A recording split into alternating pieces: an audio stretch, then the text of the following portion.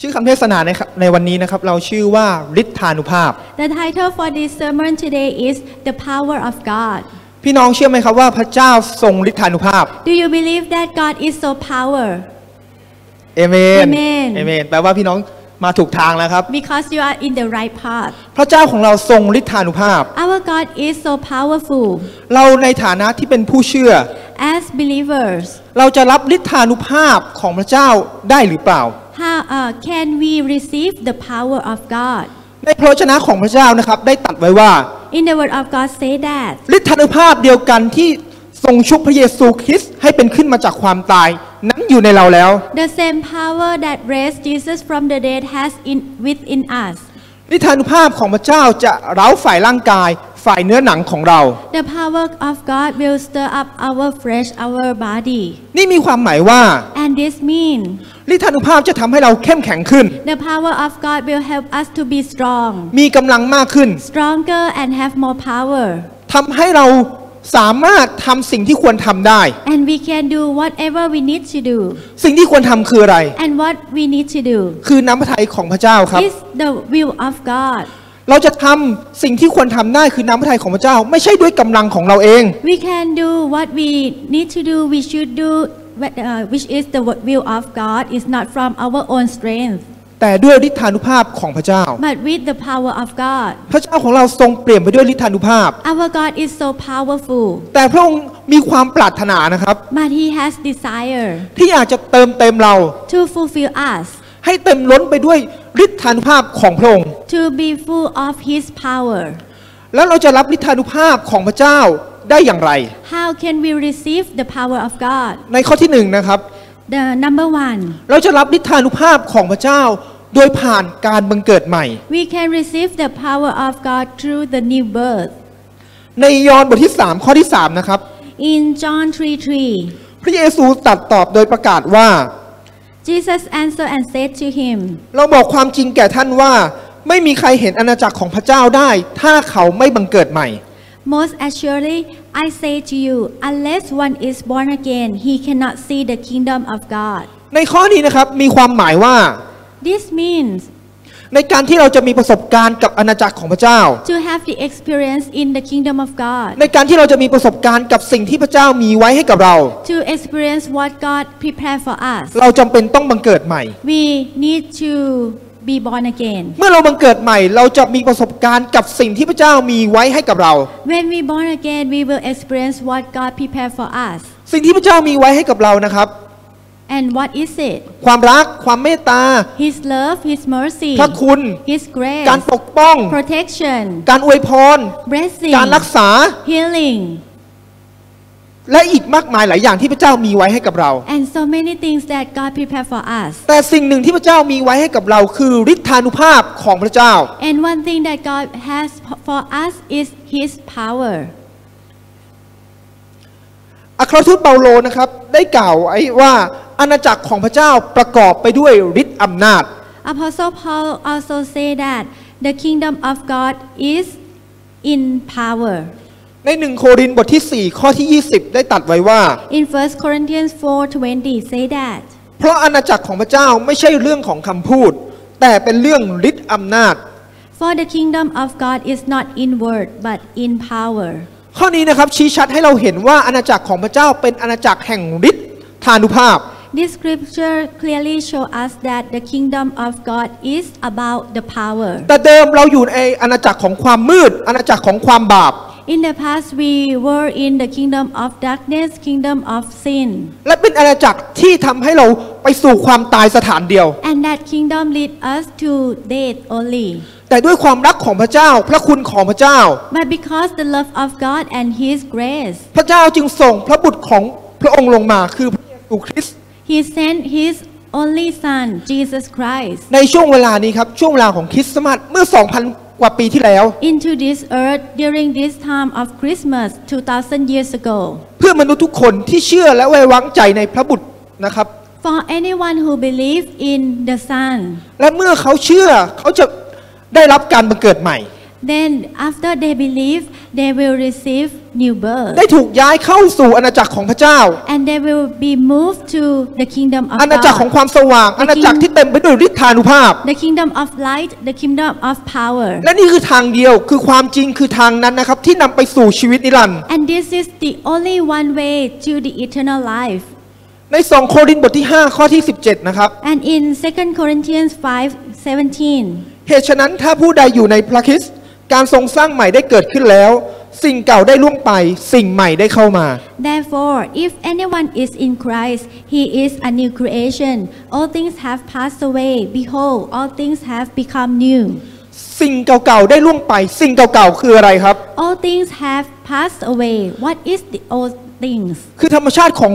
บาปธรรมชาติของมาร Nature of sin, nature of devil. ความชั่วร้ายในใจของมนุษย์ได้ออกไปจากเรา Evils in man's heart already be removed. และสิ่งใหม่ได้เข้ามา And new things has come. สิ่งใหม่คือธรรมชาติของพระเจ้า New things are the nature of พระลักษณะ God. ของพระเจ้า His characters. และหนึ่งในพระลักษณะของพระเจ้านะครับคือพระเจ้าทรงฤทธานุภาพ And one of his character is he is powerful. เมื่อเราบังเกิดใหม่ And when we born again, ฤทธานุภาพคือสิ่งใหม่ที่ได้เข้ามาในชีวิตของเรา his power is new thing that has come into our life. การบังเกิดใหม่นะครับเป็นประสบการณ์เพียงครั้งเดียวของคริสเตียน When we born again, it happened only one time in Christian's life. ทำให้เราได้กลายมาเป็นบุตรของพระเจ้า Then we become the son of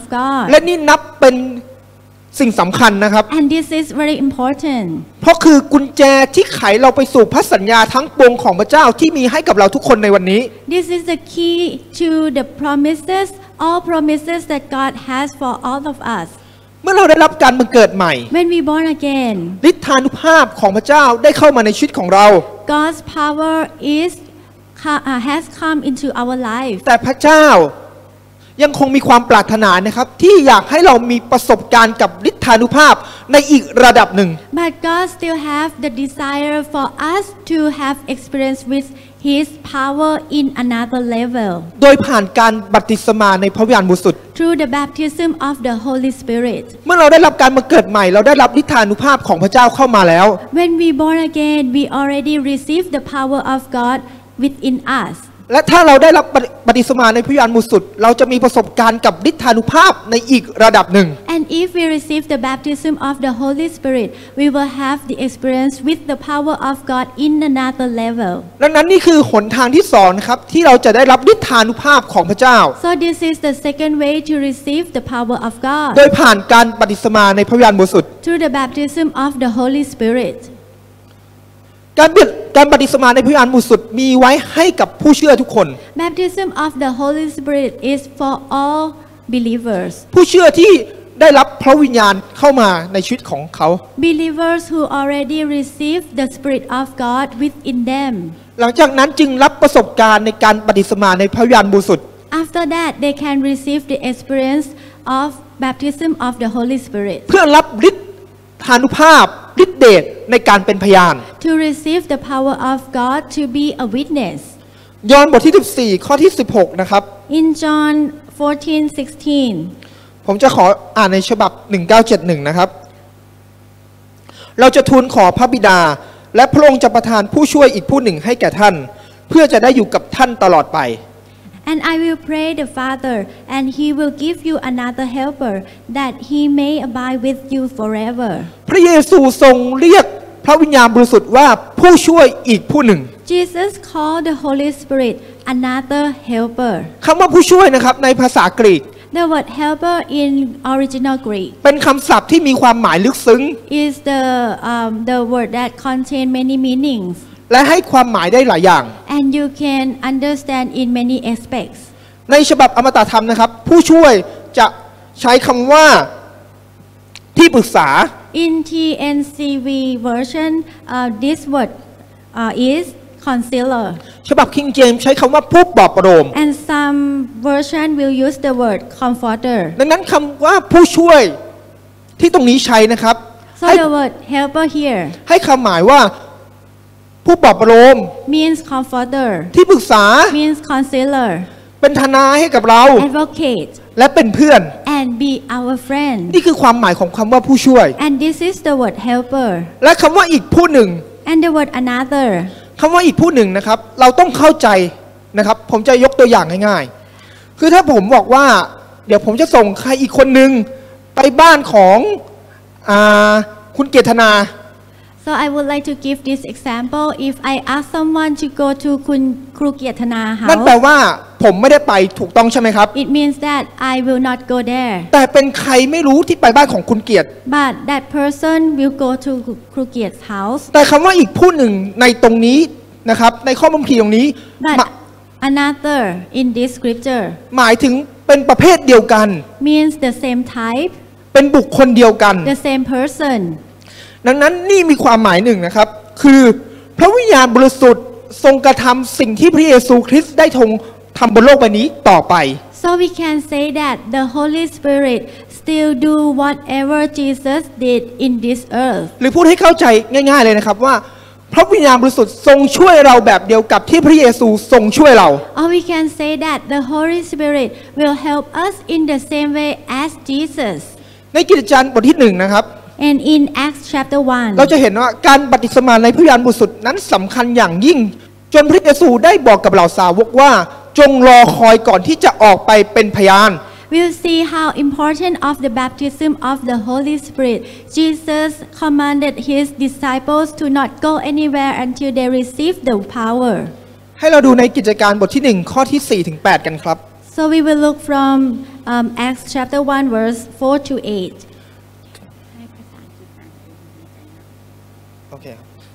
So for um, the the one the person who's uh, use English, please read it by yourself to, for the sake of time. ครั้งหนึ่งขณะทรงร่วมรับประทานอาหารกับพวกเขา พระองค์ทรงบัญชาพวกเขาว่าอย่าออกจากกรุงเยรูซาเล็ม แต่จงรอคอยของประทานที่พระบิดาของเราได้ทรงสัญญาไว้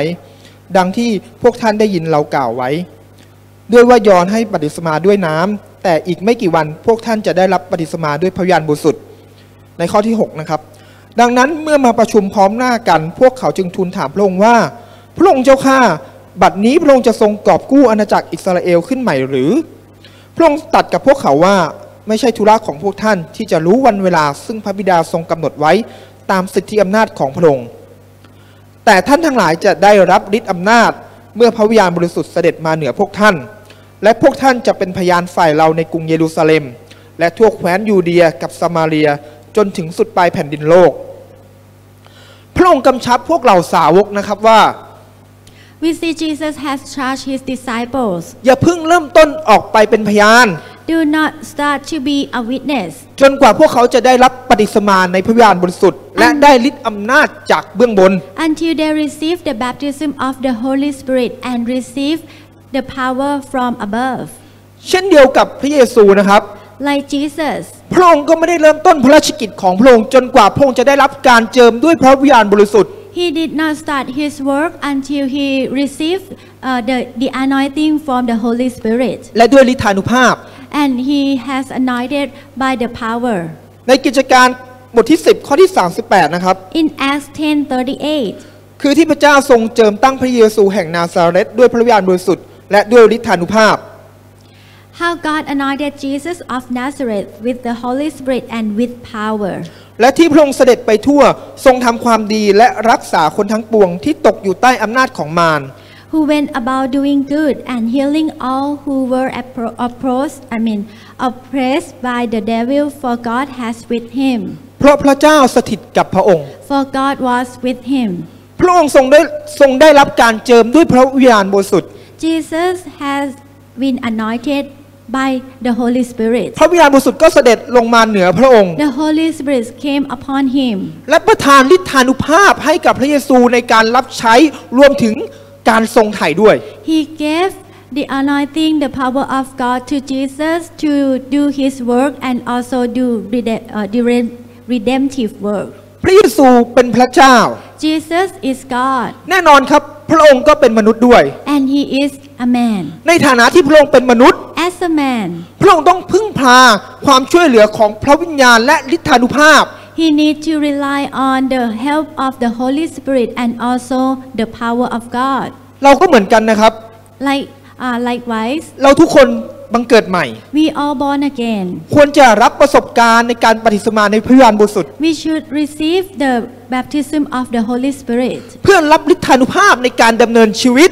และในการรับใช้ to receive the power to live in this world and also to do the ministry ดำเนินชีวิตแบบไหน เดี๋ยวผมจะอธิบายในข้อที่ 3 นะครับ and how to live in this uh, uh, in this life I will explain in number three หลังจากที่พระพระเยซูได้รับปฏิสมาในพระวิญญาณบริสุทธิ์แล้ว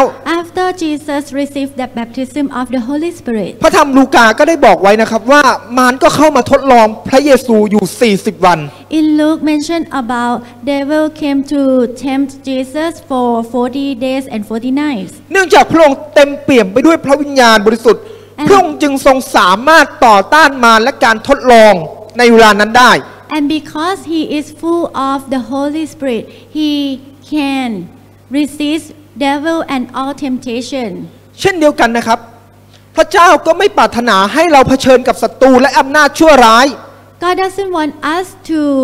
um, face any evil things and situation โดยที่เรานั้นปราศจากฤทธานุภาพของพระวิญญาณบริสุทธิ์ without the power from the Holy Spirit. เราได้ทราบแล้วนะครับว่าเราจะได้รับฤทธานุภาพของพระเจ้า We have seen together already how can we receive the power of the, the Spirit. เราต้องบังเกิดใหม่ We need to be born และเมื่อเราบัง again. เกิดใหม่ And after we born again, เราสามารถที่จะรับปฏิสมาในพระวิญญาณบริสุทธิ์ได้ we can receive the baptism of the Holy Spirit. เพราะเป็นน้ำพระทัยของพระเจ้า This is the will of God. ที่เมื่อเราได้รับปฏิสมาในพระวิญญาณบริสุทธิ์แล้ว When we receive the baptism of the Holy Spirit, เราจะได้รับการเติมเต็ม we will be fulfilled เติมเต็มจนล้นด้วยฤทธานุภาพของพระองค์ and the power of God will overflow from us. และ ฤทธานุภาพของพระองค์อยู่ที่ใดบ้างในตอนนี้ Where is His power now? ในโครงร่างข้อที่สองนะครับฤทธานุภาพของพระเจ้าอยู่ที่ใด In อยู่ใน number พระวจนะ two, in number two, where is the power of God now? The power of God is in His Word. เมื่อเราอ่านพระวจนะ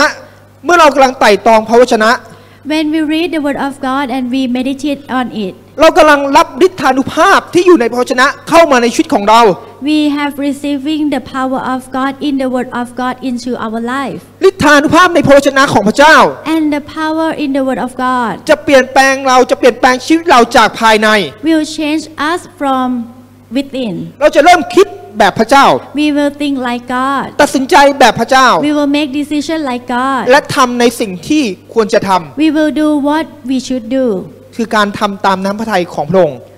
which is to do the will of God. ในฮีบรูบทที่ 4 ข้อที่ 12 นะครับ And Hebrews 4:12 เพราะว่าพระดำรัสของพระเจ้านั้นมีชีวิตและทรงอานุภาพ คมยิ่งกว่าดาบสองคมใด ๆ แทงทะลุแม้กระทั่งจิตและวิญญาณ ข้อต่อและไขกระดูก ในอะวินิจฉัยความคิดและท่าทีในใจ In Hebrew 1:12 is talk about the word of God is so powerful, has power and his life and can um, distinguish soul and spirit. ในข้อนี้นะครับเราจะเห็นว่าพระวจนะของพระเจ้านั้นมีฤทธานุภาพ So in this scripture we can see that in the word of God has power ที่จะช่วยเราในการวินิจฉัยและแยกแยะความคิด to help us to uh, separate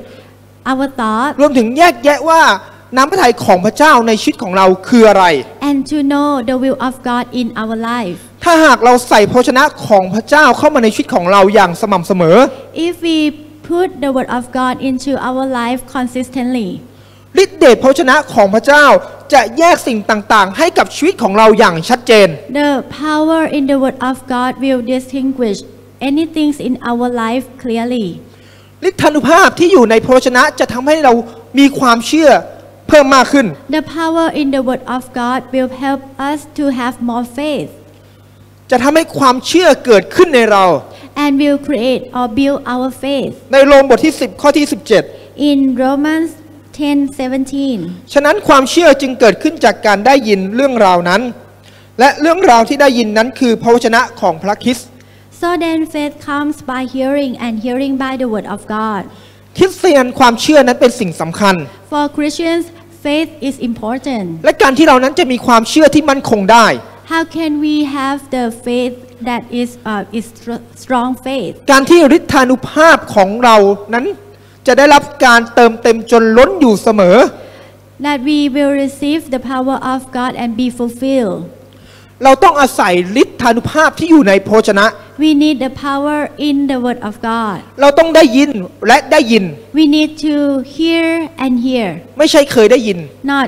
used to hear. เราต้องได้ยินพระวจนะอยู่เสมอ We need to hear the Word of God always, เพื่อที่วิญญาณของเรานั้นจะได้รับการเติมเต็มจนล้นด้วยฤทธานุภาพของพระองค์ so that our spirit will be fulfilled with the Word of God, which contains the power of God. ระดับความเชื่อของเรานะครับ And the level of our faith ขึ้นอยู่กับปริมาณพระวจนะที่ดำรงอยู่ในหัวใจของเรา depends on the Word of God that is uh, collected in our in our heart. นั่นก็คือพระวจนะนั้นเป็นจริงในชีวิตของเรา That is the Word of God that is real in our และ life. เป็นสิ่งที่เรานำมาใช้ดำเนินชีวิตประจำวันของเรา And we use the Word of God in our daily life. พระวจนะของพระเจ้าทำให้ความเชื่อของเรานั้นเติบโต The Word of God will help our faith to grow up. เท่านั้นยังไม่พอนะครับฤทธานุภาพที่อยู่ในพระวจนะจะทำให้วิญญาณของเรานั้นเติบโตด้วย And the power in the Word of God will help ทำให้วิญญาณของเราเติบโตขึ้ to นด้วย help our spirit to grow up as well.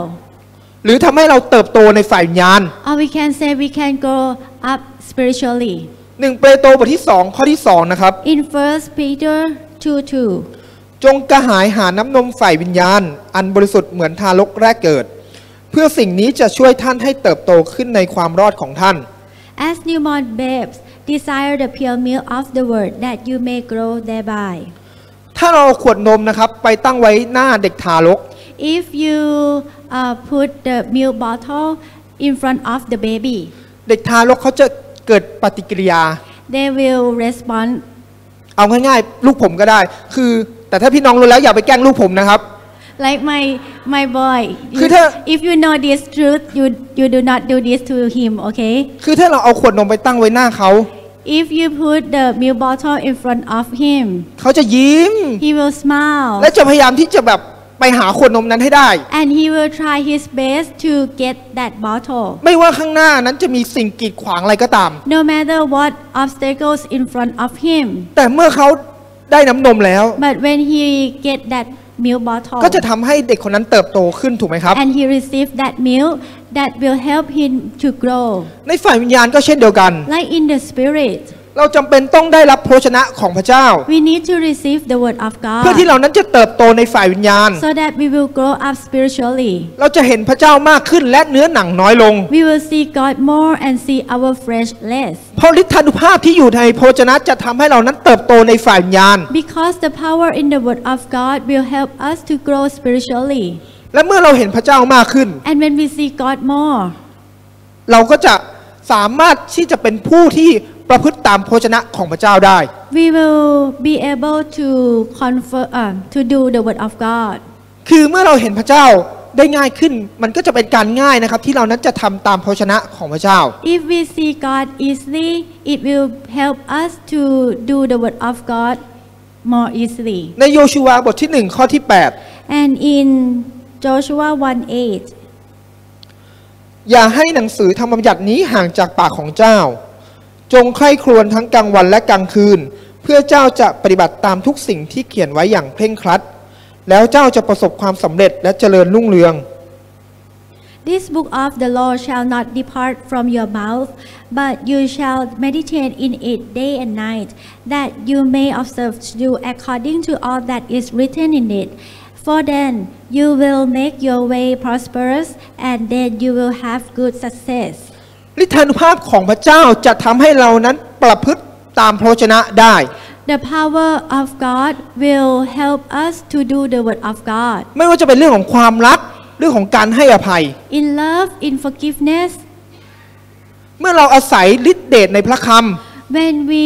rely on the power in the word of ำ God. เราจะเข้าใจนะครับที่จะไม่ดำเนินอยู่ในความรักหรือการให้อภัยด้วยกำลังของเราเอง we will understand that we will not uh, walk in love or walk in forgiveness by our own strength. พี่น้องอาจจะคุ้นกับประโยคเมื่อกี้นะครับ So you might be familiar with uh, the sentence I just said เพราะผมก๊อปปี้อาจารย์คีตมาทั้งประโยคเลย because I just copy Pastor Keith เพราะผมเชื่อว่ามันมีการเจิมอยู่ในนั้นอยู่ในประโยคนี้ because I believe that there is the anointing in this sentence. เมื่อตอนที่ฟังอาจารย์คีตนะครับผมก็ได้บันทึกไว้ When I listened to Pastor Keith, I um, wrote it down. และพอกลับไปฟังอีกครั้งหนึ่งผมคิดแล้วนะครับ ว่าประโยคนี้มันจะต้องอยู่ในโครงร่างของผมแน่นอน And after that, I realized that I need to have this sentence in this sermon. ดังนั้นนะครับ เราจะมีความรักมีการให้อภัย โดยที่ไม่ใช่ด้วยกำลังของเราเอง So we will walk in love and walk in forgiveness, not by our own strength, แต่เราจะใส่ฤทธานุภาพที่อยู่ในพระวจนะ but we will rely on the power in the Word of เมื่อ God. เราใคร่ควรเมื่อเราไต่ตองพระวจนะ ของพระเจ้าเข้ามาในชีวิตของเรา When we meditate the Word of God in our life, เราจะรักคนนั้นโดยที่เราไม่รู้ตัว we will love that person without knowing. เราจะให้อภัยเขาได้ We can forgive them และเราก็จะมีความสุข and we will be happy เพราะว่าเราไม่ได้ดื่มยาพิษให้กับตัวของเราเอง because we do not poison ourselves. อย่างที่สองนะครับที่ฤทธานุภาพอยู่ And uh, where is the power of God now? คืออยู่ในผู้เชื่อ Second thing is in believer. เอเฟซัสบทที่ 3 ข้อที่ In Ephesians 3, cha- uh, verse 20. 20 บัดนี้ขอเทิดพระเกียรติพระองค์ผู้ทรงสามารถกระทำเกินกว่าที่เราจะทูลขอหรือคาดคิดได้ ตามฤทธานุภาพของพระองค์ซึ่งกระทำการอยู่ภายในเรา Now to him who is able to do exceedingly abundantly above all that we ask or think, according to the power that works in us. ใครเป็นผู้เชื่อบ้างครับ Who are believers? เอเมน Amen. ฤทธานุภาพของพระองค์ที่กระทำการอยู่ในเรา The power of God that works within us. นี่คือความเป็นคริสเตียน This is Christians. นี่คือชีวิตแห่งการครอบครอง This is the life that we reign. เราไม่จำเป็นต้องเดินทางไปตามที่ต่างๆ เพื่อมองหาความช่วยเหลือ We do not need to go anywhere to find help เพราะฤทธิ์อำนาจทั้งหมดนั้นอยู่ในเราแล้ว because all power is in us ผ่านทางพระวิญญาณบริสุทธิ์ through the uh, through the Holy Spirit. จงใช้สิ่งนี้ที่อยู่ในเรา So use this power. และสิ่งนี้ที่อยู่ที่อยู่ในเราคืออะไร What is in us คือสิทธิอำนาจ is the power of God. สิทธิอำนาจนะครับเป็นของผู้เชื่อทุกคน Is the uh, authority and this authority is for all believers. เป็นส่วนหนึ่งในการดำเนินชีวิตของผู้เชื่อ And this is a part of walking of uh, the walk of the บาง believers. บางคนคิดว่าสิทธิอำนาจนี้เป็นของคริสเตียนแค่คนบางคนที่พระเจ้าทรงเลือกและได้ประทานฤทธานุภาพ ให้กับเขา Something that this authority, this power, God just gave it to some Christians. แต่ไม่ใช่เลยนะครับ That is not true. สิทธิอำนาจนี้เป็นของผู้เชื่อที่เชื่อในองค์พระเยซูคริสต์ทุกคน This authority, this power is for all believers. ผู้ที่เป็นบุตรของพระเจ้า The one who are the son of God. แต่มารไม่ต้องการให้เรารู้เรื่องนี้นะครับ But devil doesn't want us to know this truth. แต่ขอบคุณพระเจ้าที่ในวันนี้เรารู้แล้ว But thank God that today we know ว่าเราได้รับฤทธานุภาพของพระเจ้าที่จะมีการใช้สิทธิอำนาจบนโลกใบนี้ได้ that we already received the power of God that we can use this authority in this world. ดังนั้นเราทุกคนสามารถที่จะใช้สิทธิอำนาจได้ So all of us can use this authority เหนือความชั่วร้ายของมารเหนืออำนาจชั่วร้าย above evils, above evil's power. ในมัทธิวบทที่ 28 ข้อที่ 18 ได้ตัดไว้ว่า And in Matthew 28 18, พระเยซูทรงเข้ามาหาพวกเขาและตรัดว่า สิทธิอำนาจทั้งสิ้นในสวรรค์และในแผ่นดินโลกทรงมอบไว้ให้แก่เราแล้ว and Jesus came and spoke to them, saying, All authority has been given to me in heaven and on earth. สิทธิอำนาจเป็นของเรานะครับ This authority is for us, ไม่ว่าเราจะรู้หรือไม่ก็ตาม no matter we know or not. แต่เพียงแค่เรารู้เท่านั้นยังไม่พอ But if we know it not enough, ต้องมีการกระทำควบคู่ไปด้วยกับความรู้จึงจะเกิดผล we need to act on it to make it work. เมื่อพระเยซูนะครับได้เสด็จขึ้นสู่สวรรค์ When Jesus um, went to heaven, พระองค์ทรงมอบสิทธิอำนาจทั้งหมดของพระองค์ไว้กับคริสตจักร he gave His power, His authority to the church. พระองค์เป็นประมุขหรือศีรษะของคริสตจักร He is the head of the church. และเราที่เป็นผู้เชื่อเราเป็นพระกายของพระองค์ As His believer, we are His body. สิทธิอำนาจนะครับจำเป็นต้องทำงานผ่านพระกายของพระองค์ Authority will be used through the body of Christ. สิทธิอำนาจจำเป็นที่จะต้องทำงานผ่านพระกายของพระองค์ที่อยู่บนโลกใบนี้ And this authority needs to be used through the body of Christ in this world. ในเอเฟซัสนะครับบทที่ 1 ข้อที่ 18 ถึง In- ถึง 23 In Ephesians 1, uh, verse 18 to 23. ข้าพเจ้ายังขอให้ตาใจของท่านสว่าง เพื่อท่านจะได้รู้ถึงความหวังที่ทรงเรียกท่านมานั้น รู้ถึงความมั่งคั่งแห่งมรดกอันรุ่งเรืองของพระองค์สำหรับประชากรของพระองค์ และรู้ถึงฤทธานุภาพอันยิ่งใหญ่สุดหาใดเทียบสำหรับเราทั้งหลายที่เชื่อฤทธานุภาพนี้เป็นเหมือนพระราชกิจแห่งพลังอันยิ่งใหญ่ของพระองค์ ซึ่งทรงกระทำในพระคิสเมื่อทรงให้พระคิสเป็นขึ้นจากตาย และให้ประทับเบื้องขวาพระหัตถ์ของพระองค์ในสวรรคสถาน สูงส่งยิ่งเหนือเทพผู้ครอง และเทพผู้ทรงอำนาจ เทพผู้ทรงเดชานุภาพ และเทพผู้ครองอาณาจักรทั้งสิ้น และเหนือทุกนามที่เขาเอ่ยขึ้น ไม่เพียงในยุคนี้เท่านั้น แต่ในยุคหน้าด้วย และพระเจ้าทรงให้สิ่งสารพัดอยู่ใต้พระบาทพระคริสต์และทรงตั้งพระองค์ไว้เป็นประมุขเหนือทุกสิ่งเพื่อคริสตจักร อันเป็นพระกายของพระองค์ซึ่งบริบูรณ์ด้วยพระองค์ผู้ทรงให้ทุกสิ่งบริบูรณ์ในทุกทางนะครับอยากให้เราดูในข้อที่ 19 นะครับ I would like us to look at verse 19. และรู้ถึงฤทธานุภาพอันยิ่งใหญ่สุดหาได้เทียบสำหรับเราทั้งหลายที่เชื่อ And know what is the exceeding greatness of his power to us who believe, ฤทธานุภาพนี้เป็นเหมือนพระราชกิจแห่งพลังอันยิ่งใหญ่ของพระองค์ according to the working of his mighty power. กล่าวอีกในหนึ่งนะครับ So we can say that ฤทธานุภาพอันยิ่งใหญ่ของพระเจ้าที่สำแดงออกมาในการชุบองค์พระเยซูคริสต์ the greatness of his power that raised Jesus from the dead ให้เป็นขึ้นให้เป็นขึ้นจากความตาย เป็นพระราชกิจอันยิ่งใหญ่ที่สุดของพระเจ้า is the greatness um, power of God. คือฤทธานุภาพที่พระเจ้าทรงใช้ชุบพระเยซูคริสต์นั้น The power that raised Jesus from the dead ยิ่งใหญ่มาก is so powerful, is so, และฤทธา so นุภาพ great. และฤทธานุภาพที่ยิ่งใหญ่นี้อยู่ในผู้เชื่อทุกคน And this power is in all believer. ในข้อที่ 18 นะครับ And in verse 18, ข้าพเจ้ายังขอให้ตาใจของท่านสว่าง เพื่อท่านจะได้รู้ถึงความหวังที่ทรงเรียกท่านมานั้น และรู้ถึงความมั่งคั่ง แห่งมรดกอันรุ่งเรืองของพระองค์สำหรับประชากรของพระองค์ the eyes of your understanding being enlightened, that you may know what is the hope of his calling, what are the riches of the glory of his inheritance in the saints. ข้อนี้นะครับเปิดเผยความจริงว่า พระองค์ทรงต้องการให้คริสตจักรทั้งหมดซึ่งหมายถึงผู้เชื่อทุกคน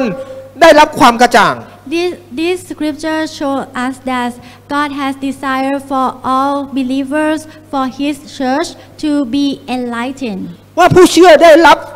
ฤทธานุภาพ to know and believe that they receive the power มาจากพระเจ้าที่จะมีสิทธิอำนาจบนโลกใบนี้ from God to have authority in this earth. ผู้เชื่อคนใดนะครับที่เข้าใจอย่างท่องแท้ว่าฤทธานุภาพของพระเจ้า Whoever believe and know this, the power of God, คอยหนุนหลังเขาอยู่ and they know that His power is back up His back. ผู้เชื่อคนนั้นนะครับเขาจะใช้สิทธิอำนาจของพระของพระเจ้า He will use the power of God. ใช้สิทธิอำนาจของเขาในการเผชิญศัตรูมารและวิญญาณชั่วร้าย use authority to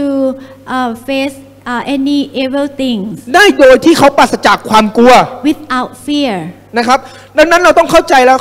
ว่าฤทธานุภาพของพระเจ้าคอยหนุนหลังเราอยู่ So we need to know that we have God's power back us up. และเมื่อเราใช้สิทธิอำนาจเหนือมาร And when we use authority above or over devils, เราไม่จำเป็นต้องกลัว we don't need to fear นะครับเพราะว่าเรามีสิทธิอำนาจที่จะเหนือพวกมารอำนาจชั่วร้ายสักดิเทพเทพต่าง because we have au- uh, we have authority, we have power above all evil powers. ๆขอบคุณพระเจ้านะครับ ไม่ว่าเราจะกล่าวห้ามหรืออนุญาตสิ่งใด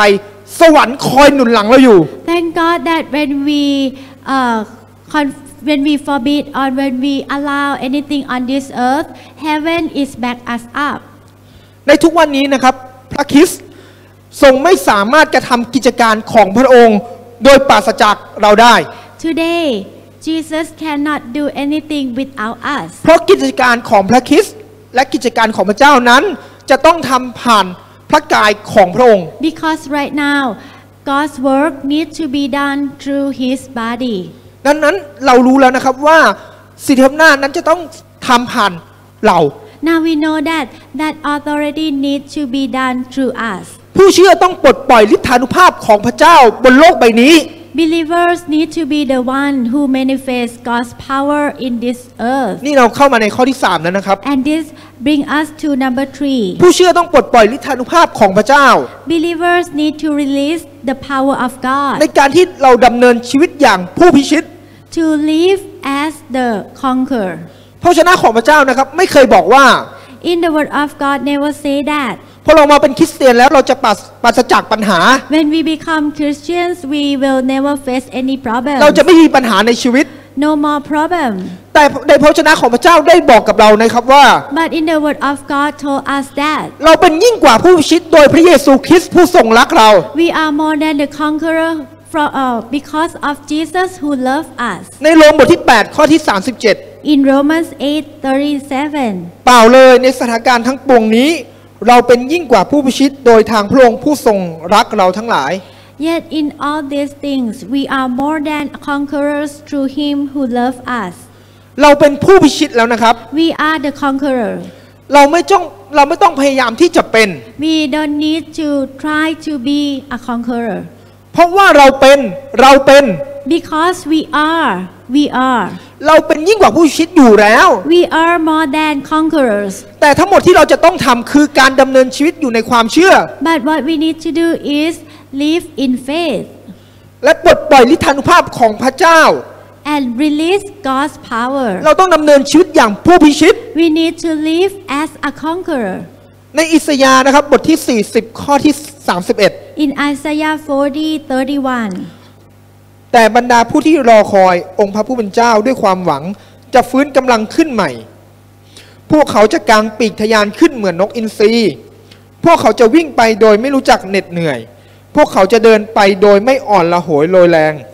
But those who wait on the Lord shall renew their strength. They shall mount up with wings like eagles. They shall run and not be weary. They shall walk and not faint.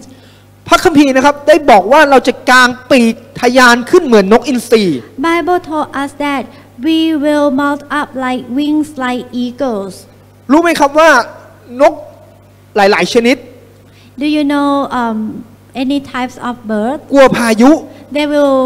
be uh, they will afraid of storm. นะครับกลัวฝน They will afraid of rain. เวลาที่เกิดพายุและฝนมา นกเป็นเหล่านั้นนะจะหาหลบหาที่กำบัง When storm or rain comes, those birds will try to find places to hide. แต่นกอินทรีไม่กลัวพายุ But eagle they do not fear storm. นกอินทรีจะเห็นพายุแต่ไกล They will see storm from afar. เราต้องมีวิสววิสัยทัศน์มากพอนะครับที่จะไม่ตื่นตระหนก We will we need to have vision and we need to not be fear. และรู้ว่าสุดท้ายแล้วเราเป็นผู้ชนะ And we know that finally we are a conqueror. การเป็นมากกว่าผู้พิชิต When we are more than a conqueror, คือเรารู้อยู่แล้วว่าเราจะเป็นผู้ผู้ช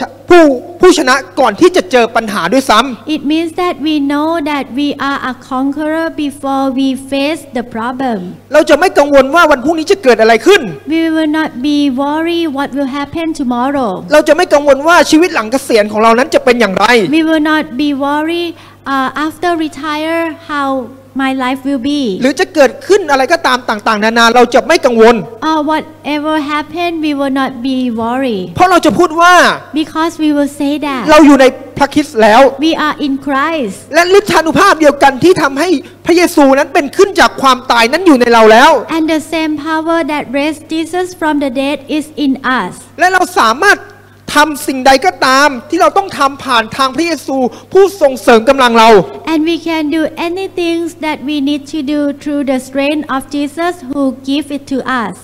เมื่อสักครู่นะครับผมได้บอกไปแล้วว่านกอินทรีนั้นไม่กลัวพายุ I just mentioned about eagles that they do not fear um, storm. นกอินทรีจะเห็นพายุแต่ไกล Eagle will see storm from afar, แล้วนกอินทรีนะครับจะใช้ประโยชน์จากพายุ and they will take advantage from storm. คือนกอินทรีจะรอสายลมของพายุพัดเข้ามา They will wait for storm, แล้วมันจะกางปีก and then they will mount up his wings. พอพายุนั้นปะทะกับปีกของนกอินทรี And when that storm um, touch their wings, มันจะบินขึ้นไปอยู่เหนือพายุ that eagles will rise up and be above that storm. และมันก็จะมองลงมานะครับ รอให้พายุหายไป And that eagle will wait, uh, will look down for, to the storm and wait until the storm disappear. และเราจะเป็นเหมือนนกอินทรี And we will be like eagles. เราจะถูกดันขึ้นไปเหนือปัญหา We will be above the problem. ไปอยู่ในที่นิ่งสงบ และเต็มไปด้วยสันติสุข And we will be still and be in peace. และเราก็จะมองลงไปที่ปัญหานั้นให้มันผ่านไป And we will look down on that problem until it uh, disappear. เพราะว่าฤทธานุภาพของพระเจ้านั้นมีพร้อมสำหรับเราอยู่เสมอ Because the power of God is available for us always. ไม่ว่าอะไรจะเกิดขึ้นรอบตัวเรา No matter what happened around เรา us, จะได้รับการยกอยู่เหนือปัญหานั้น we will be rise up above that และมอง problem. ที่ปัญหานั้นอย่าง สงบนิ่ง And we will look at the problem peacefully. นี่คือการใช้ชีวิตอย่างผู้พิชิต And this is how we live as the ที่เรานั้น conqueror. จะปลดปล่อยฤทธานุภาพของพระเจ้าที่อยู่ในเรานั้นให้คนอื่นได้เห็นได้ That we will release the power of God in our life and people will see it. แน่นอนครับเราจะต้องเจอปัญหา Of course, we will face the problems. แต่ผู้คนที่เห็นเราเวลาเจอปัญหา But when people see us fa- face the problems, เขาจะตกตะลึงที่เขาเห็นชีวิตของเรา they will amaze in our life. ว่าเอ้ยทำไมคุณเจอปัญหาแล้วคุณยังยื่นมือไปช่วยเหลือคนอื่นได้ How come you face this problem and then you still help other people? คุณมีปัญหานี้แต่ทำไมคุณยังเป็นพระพรให้กับคนอื่นได้ You have this problem, but how come you can be a blessing เรา to จะตอบ those เขาไปนะครับ people? ว่าเพราะนี่ไม่ใช่ด้วยกำลังของเรา แต่เป็นฤทธานุภาพของพระเจ้าที่ดำรงอยู่ในชีวิตของเรา And we can answer them that this is not from our own strength, but from the power of God that is in us. ผมจะเงียบ ให้พี่น้องได้เอเมนนะครับ ไม่ใช่ว่าเพราะผมลืมโน้ตนะครับ So I will give you time to amen. It's not because of I forget the outline. อย่างที่สองนะครับ ในการอธิษฐานของเรานั้นจะปลดปล่อยฤทธานุภาพของพระเจ้า Secondly, with our prayer, that is the way to release the power of God. ในยากอบบทที่ 5 ข้อที่ In James 5:16, 16 เหตุฉะนั้นท่านทั้งหลายจงสารภาพบาปต่อกันและกัน และจงอธิษฐานเผื่อกันและกัน เพื่อท่านทั้งหลายจะพ้นโรคภัยคำอธิษฐานของผู้ชอบธรรมนั้นมีพลังทำให้เกิดผล confess your trespasses to one another and pray for one another that you may be healed. The effective fervent prayer of a righteous man avails much. การอธิษฐานนะครับเป็นวิธีการที่มาจากพระเจ้า Pray is the way from God ที่จะปลดปล่อยฤทธานุภาพของพระองค์ออกมาได้ to release His power. มารซาตาน พยายามที่จะทำให้เราละเลยชีวิตแห่งการอธิษฐาน Satan and devils would like us to ignore our prayer life ให้เราไปจดจ่ออย่างอื่นให้ชีวิตของเราวุ่นวาย and let us focus on other things and keep us busy เพราะมารรู้ว่าเมื่อใดที่คริสเตียนนั้นอธิษฐาน because they know whenever Christians pray คริสเตียนกำลังปลดปล่อยฤทธานุภาพของพระเจ้าออกมา they are releasing the power of God และมันก็ต้องพ่ายแพ้แล้วมันก็ต้องออกไปจากตรงนั้น and they need to be out they Man- need to remove มันจึงไม่ต้องการให้เรารู้ความจริงเรื่องนี้ so they don't want us to know this truth ดังนั้นเราต้องมีชีวิตที่เต็มไปด้วยการอธิษฐาน we need to have praise และจะ life เห็นนะครับในพระเจ้าของพระเจ้าจะมีหลายข้อเลยที่บอกว่าให้เราขมักเขม้นในการอธิษฐาน In the Word of God, mention many places about have uh, prayer life, ให้เราจริงจัง Honestly จริงใจในการอธิษฐาน diligent to pray, ให้เราอธิษฐานอยู่เสมอ and praise always. เพราะว่าเมื่อใดก็ตามที่เราอธิษฐานเราจะปลดปล่อยฤทธานุภาพของพระเจ้า Because whenever we pray, we release the power of God. ดังนั้นการอธิษฐานเพียงแค่ตอนเช้าหรือก็การอธิษฐานขอบคุณพระเจ้าก่อนกินก่อนทานอาหารนั้นไม่เพียงพอ So if we pray only in the morning and then pray before meals is not enough. เราจะต้องจัดเวลาอย่างจริงจัง และอุทิศชีวิตของเราในการอธิษฐาน We need to make time and be diligent to pray. อาจารย์อธิษฐานเผื่อตัวเราเองเผื่อครอบครัวของเราเผื่อคริดจักรของเราเผื่อประเทศของเรา We can pray for our life, our family, our church, our country. เพราะในการอธิษฐานนี้จะเป็นการที่เราปลดปล่อยฤทธานุภาพของพระเจ้าออกมา Because when we pray, we are releasing the power of God. เอลียานะครับเขาอธิษฐาน Like Elijah, อย่างจริงจังขอให้ฝนไม่ตก he prayed to um, not be not rain, ฝนก็ไม่ตก and then no rain. และผ่านไป 3 ปี 6 เดือน เอลียาก็อธิษฐานอีกครั้งขอให้ฝนตก ฝนก็ตก And after that, over three years, he prayed again to rain, and then the rain comes. แต่การที่สิ่งนั้นจะเกิดขึ้นได้ เอลียาเขาจริงจังในการอธิษฐานเขาอุทิศตัวในการอธิษฐานกับพระเจ้า But this happened because Elijah have the pray life that diligent to pray. การอธิษฐานนะครับเป็นตัวเชื่อมฤทธานุภาพของพระเจ้า So- ที่จะเกิดผลบนโลกใบนี้ Pray is the connection of the power of God to be released in this world. การอธิษฐานจะเกิดผลเมื่อเราเป็นคนที่ชอบทำแน่นอนเราเป็นคนที่ชอบทำแล้วถูกต้องไหมครับ And the prayer will be effective when we are the righteous man, and we are all the righteous man. เราเป็นคนที่ชอบทำแล้ว ด้วยพระคุณของพระเจ้าผ่านทางพระเยซู We are righteous because of His grace from Jesus. และคำอธิษฐานของเราก็ต้องสอดคล้องกับพระประสงค์ของพระเจ้า Of course, our prayer needs to be according to the will of God จึงจะเกิดผล to be effective. แต่ เราไม่เพียงที่จะอธิษฐานตามพระประสงค์ของพระเจ้าเท่านั้น But not only pray according to the will of God. ชีวิตของเรานั้นต้องอยู่ในพระประสงค์ของพระเจ้าด้วย Our life needs to be in the will of God as well. แสวงหาแผ่นดินของพระเจ้าและความชอบธรรมของพระองค์ก่อน We seek His kingdom and His righteousness first. ให้ชีวิตของเรานั้นเป็นที่พอพระทัยของพระเจ้า Let our life be um, be pleased to God. เราต้องอย่าลืมตรงนี้ที่ชีวิตของเรานั้นจะอยู่ในพระประสงค์ของพระเจ้าด้วย And our life needs to be in the will of God. อย่างที่สามนะครับในการวางมือรักษาเราจะปลดปล่อยฤทธานุภาพของพระเจ้า Thirdly, when we lay hand on the sick, we will release the power of God. ในยากอบบทที่ 4 ข้อที่ In James 4 7. 7ดังนั้นแล้วท่านจงยอมจำนนต่อพระเจ้า จงยืนหยัดต่อสู้มารและมันจะหนีไปจากท่าน Therefore, submit to God, resist the devil, and he will flee from you. ข้อนี้นะครับได้กล่าวว่าผู้เชื่อมีฤทธานุภาพ So this scripture show us that believer has power ที่จะใช้สิทธิอำนาจเหนือมารอย่างแน่นอน to use authority above or over devils. ข้อนี้ไม่ได้บอกว่ามารจะหนีพระเยซูไป แต่บอกว่ามารจะหนีท่านไป This scripture say that devil will. Uh, this scripture does not say that devil will free from Jesus, but devil will free from you. ในทำนองเดียวกันนะครับ เราก็ไม่ได้อธิษฐานขอให้พระเยซูวางมือให้ Likewise, we do not pray to ask Jesus to lay hand, แต่เรานั่นแหละที่เป็นคนวางมืออธิษฐานรักษาคนเจ็บป่วย but we are the one who lay hands and pray for the sick. มือนั้นเป็นส่วนหนึ่งนะครับของร่างกาย Hand is a part of our body. กิจการของพระเจ้านั้นต้องทำผ่านทะพระกายของพระคริสต์ God's works need to be done through the body of Christ. ในมาระโกบทที่ 16 ข้อที่ In Mark 16 18, 18 เขาจะวางมือให้คนเจ็บคนป่วยและคนนั้น และคนเหล่านั้นจะหายโรค they will lay hands on the sick and they will recover. เมื่อเราวางมือคนป่วย คนเจ็บป่วย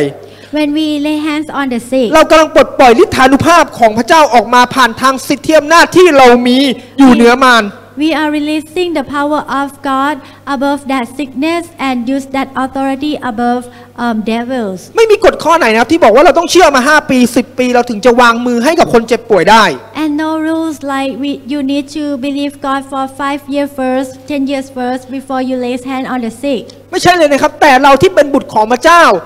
But we are, uh, but whoever are the son of God, เรามีสิทธิอำนาจที่จะวางมือบนคนเจ็บป่วยได้ we already have this authority to lay hands on the sick.